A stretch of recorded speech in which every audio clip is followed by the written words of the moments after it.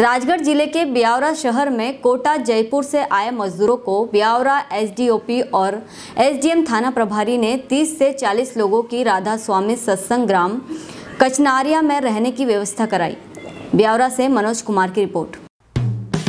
Hello friends आप देख रहे हैं हमारा चैनल एस डब्ल्यू न्यूज़ हमारे सारे वीडियो सबसे पहले देखने के लिए आप हमारे चैनल को सब्सक्राइब करें और पास में लगे बेल आइकन को दबाना बिल्कुल भी ना भूलें।